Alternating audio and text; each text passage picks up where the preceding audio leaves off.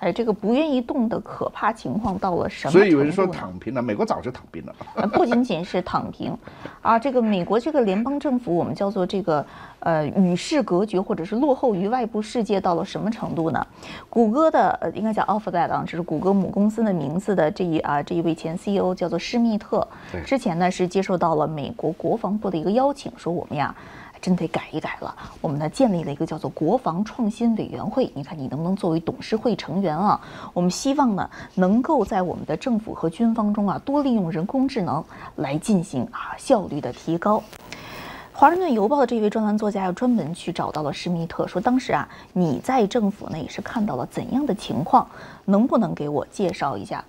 那么记者描述，当时施密特啊。这个脸上的表情啊，是倒吸一口凉气，仿佛是我们在恐怖电影里面看到的一个人类突然看到了超自然的怪物那一种惊恐的神情。施密特是长叹了一口气，他说呀：“说我跟在里面的人说呀，你们根本不知道外面的世界是什么样的。”何明先生说是躺平了。记者描述施密特。说施密特就像看到了恐怖电影里面的这一种超自然的鬼怪一样，真的是没有办法想象的与世隔绝和落后啊。那我们也说啊，说这个联邦政府按理说，不管是提供医疗服务，还是提供一些基本的，比如说你去啊，这个更新一个车的牌照，往往是与我们每一个公民这样的一个生活是连接最紧密的一部分，提供服务。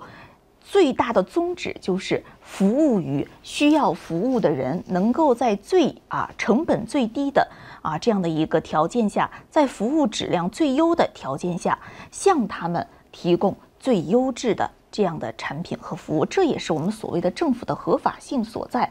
为什么大家要向政府交税，让渡自己的一部分权利呢？就是希望政府可以提供给我们一些基本的服务。但是啊，即使是在这样的啊，可以说是全世界最优质的民主制度之下，政府的效率现在也出现了如此与技术时代发展啊这个完全脱节这样的一个情况下，任何一个很小的一个事情都需要经过好几个月的审查过程才能够获得许可。在施密特看来啊，这不仅仅是这个这个。不符合我们对于一个政府的想象，这是比违法更糟糕的形式，简直就是官僚主义对于人的折磨和酷刑。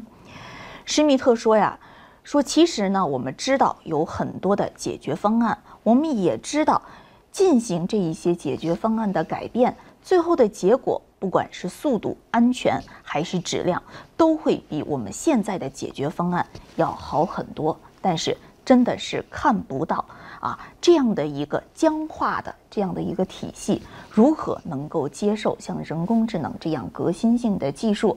不要说人工智能，连软件现在有很多的联邦政府都不会用，没有办法用一般的办公软件来解决行政事务，还是在采取传统的传真。手面的呃手这个这个手面书写，或者是纸质打印，再寄信这样的方式进行信息的传递。呃，那我和平先生，我也想问啊，我们一直在谈人工智能、智慧决策可以给政府带来多大的变化？如果我们现在面临的是一个连邮件都不发、连办公系统都没有办法使用，还在进行传真以及这个手头进行指示的这样的一个系统，这个改变是不是天方夜谭啊？天方夜谭。嗯，所以我更希望是更多的别的国家来改进，比如说爱沙尼亚，嗯，比如说这个印尼。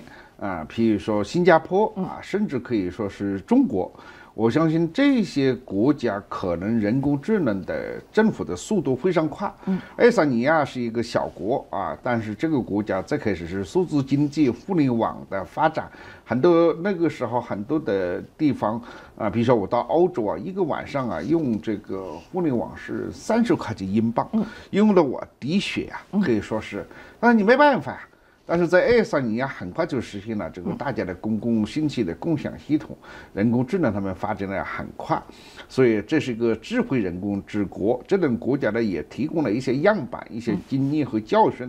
那现在印尼呢是准备在新的首都建立一个智慧之城，甚至请了法国的科学家们跟他们建立一个模型。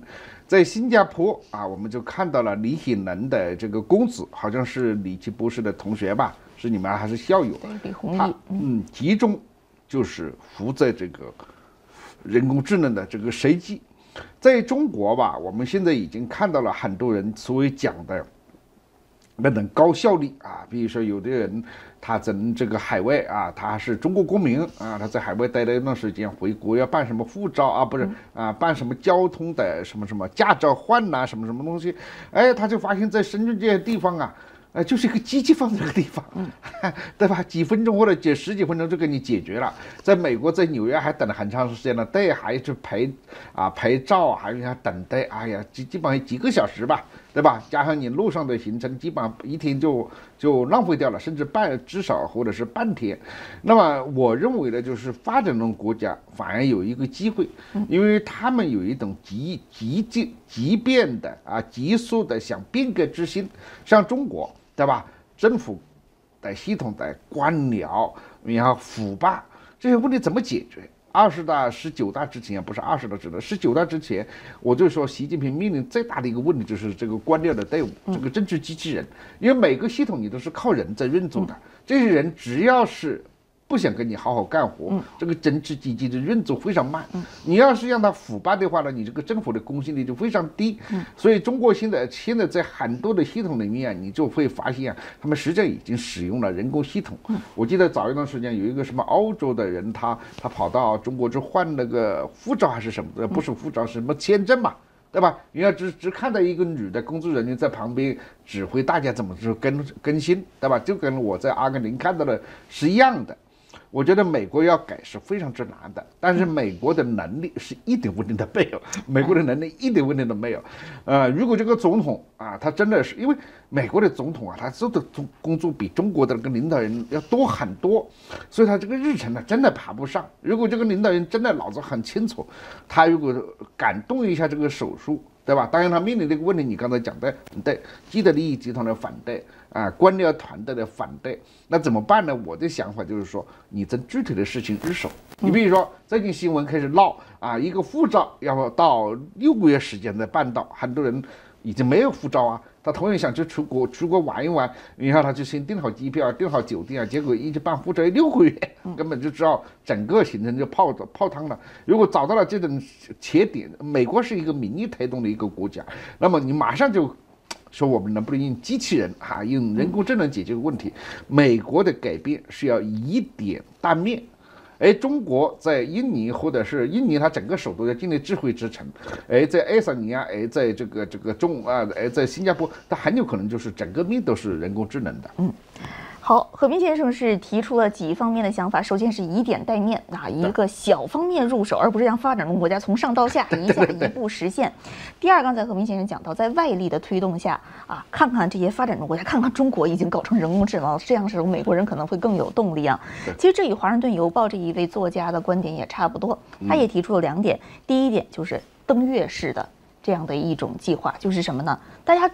最开始都认为登月是不可想象的事情，但是当你面对一个强大的外部的对手的时候，这件事情就会突然具有紧迫性。最后还真的就是靠美国自身的实力和技术实现了率先登月这样之前认为不可想象没用的壮举，这是一方面。第二啊。这个作者呢，就提出了一个从内生性，从现在美国人对于政府和机构失望的这种紧迫性，对于联邦政府、对于民主制度危在旦夕的这一种紧迫性入手的方式。他就讲到啊，说的确，你要是从技术的角度而言呢，八十几岁的一个老人似乎并不是引领美国人工智能时代最合适的总统。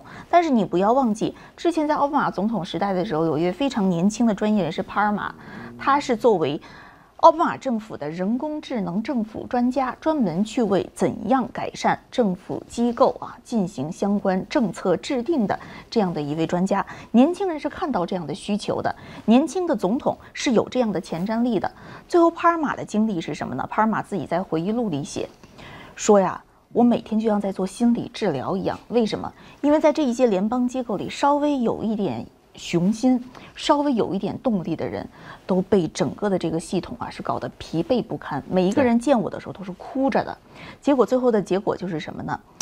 有动力改变、有志向、有梦想的这一些联邦工作人员，他们是最先离开的，剩下的反而是最没有动力的这一些人。这本书我非常推荐给大家，帕尔马是奥巴马时代的，专门做来改变联邦政府低效的这一位官员。他在书的前言里面写什么？致敬爱的公务员，坚持住，就是这样的一番话，就讲到了整个联邦公务员体系。这也是但是在嗯嗯嗯。这也是我们思想宣传报的一个非常重要的一个目标。这个目标就是希望我们的观众能够接受到啊，这个这个世界啊最顶尖的一些问题。而这些问题呢，作为中国人来讲，往往会被忽视的，或者是被那些八十年代我们这一代人的那种浪漫的对西方的想象的人的误导的一个一个中国。啊，不是说中国不应该学民主，不是说中国不应该像说自由，不是说中国不应该怎么怎么样，而是说呢，你应该在这些已经发达的国家里面得到一个教训，不像你当年的那么的想象是这样的。我有一点不好意思啊，但是也不得不说，真的有时候看到中国那些所谓的大人物啊，嗯，大思想者呀，写的那些文章啊，那种苍白呀。跟我三十年前是完全不同的。三十年以前，我充满了无限的这个敬佩、敬仰啊，就是他们提出了一个中国这样一种体制根本不能解决的问题，对吧？西方给我们指引了一条非常光明的道路，而我们今天在美国生活了三十多年，享受了美国的自由，享受了美国的民主，享受了美国的政府的服务，对吧？也跟美国政府一直交税，等等等等。你对美国的这种体制的。感受啊，就会更加真切啊。有时候我们听到的，大家就是说，都是一种无力感。但是我们今天有理气，不是真的年轻人给我们打开一扇窗。我们的目的不是说说美国这个体制啊啊怎怎么样，而是说你站在一个中国人的角度来讲，中国是有机会啊去重塑一些呢啊这个在西方的经验教训之上的一些新的体制啊。如果在这样方面，就根本跳过有一些。原来的层次来直接进入到一些层次，中国叫弯道超车吧，这种词我不是那么喜欢啊，弯道超车太危险了。而且说你本来就是一个正常的，这个你比。比现有的官僚体制还要还要进化的一个机会，就是技术给你带来的机会啊，而且你是有这个技术力量哈，对对吧？但是哎，怎样说服现在的政治领导人呢？特别是当这个政治领导人本身可能对于技术并不了解，《华盛顿邮报》这一位专栏作家也支了一招，他说呀，说拜登总统呢在选举的时候就说自己之所以要出来选，是保护美国的民主制度不受到一个破坏性力量的彻底摧毁。但是你有没有想到过，之所以这一股破坏性的力量能够形成气候，其实更大的背景是现在美国人对于自己所生活的这样的一个制度下的啊这样的一种无力感和绝望。因此啊，他就讲到说呢，说实际上真正对于民主制度最好的保护是让民主制度本身能够更优质、更高效。你这时候讲的太对了，太对了，这就是讲到问题的本质。如果民主不能表现一个高效、一个优质的服务，民主这本身缺乏了魅力。八十年代之所以上往西方，并不是有一个空洞的民主和自由，那是一个真实的感觉到西方人就是比我们中国人生活的好啊，对不对？生活的有效率，生活的有品质，生活的有时尚啊。如果你西方不能达到这一点，你看我还说我有民主，对不对？啊，贫困的民主，你觉得大家会是喜欢的吗？对，的确啊。那么看来，《华盛顿邮报》的这一位专栏作家与和平先生的观点有很多的类似之处啊。哎，我们要提一句，我经常发现就是说，实际上在顶尖的观点跟我有一点接近。哎，对，而且他特别与您还有一个共同的特点，就是他也是一位媒体人出身。他之前是彭博商业周刊的一位主要的编辑，低劣的不得了。哎，其实媒体人内部对于媒体是有很多反思的。对啊。那么这呢是另外一个话题，我们再讲。他就讲到啊，说呀，说拜登总统啊，你或许是一个善良的八十岁的。你甚至是一个聪明的总统，但是啊，毕竟我们也说啊，说这个八十岁的聪明人终身制，这不是对于一个制度最好的保护。怎么办呢？与其去找一个啊像你这样对于民主制度保护本身有很大热情的人，但是人毕竟是要面对很多缺陷的人，不如啊让大语言模型 来接管你。他也聪明，而且呀，他不管是在八十岁还是在八百岁。只会更聪明，不会随着年龄的增长一代一代的迭代变得更笨。因此啊，人工智能这才是一个永远不会老化、永远不会衰老的这个民主制度最好的保护者。当我们的政府所提供的服务变得更低成本、更高效，当我们的政府的决策变得更少一些政党以及利益集团之争，真的能够让大家看到啊这样一种决策背后的逻辑性和理性。当不管是五角大楼也好，还是美国的国税局也好。他们为我们所提供的服务，他们对于纳税人所造成的成本，由这样一个数据化的、清晰化的显示，他们的决策是以经过算法以及人工智慧迭代形成的。即便不是最优，也是在当前状况下可预期平均最优的这一些选择的时候，或许我们会对机构重拾信心。而当我们对于机构重拾信心的时候，我们。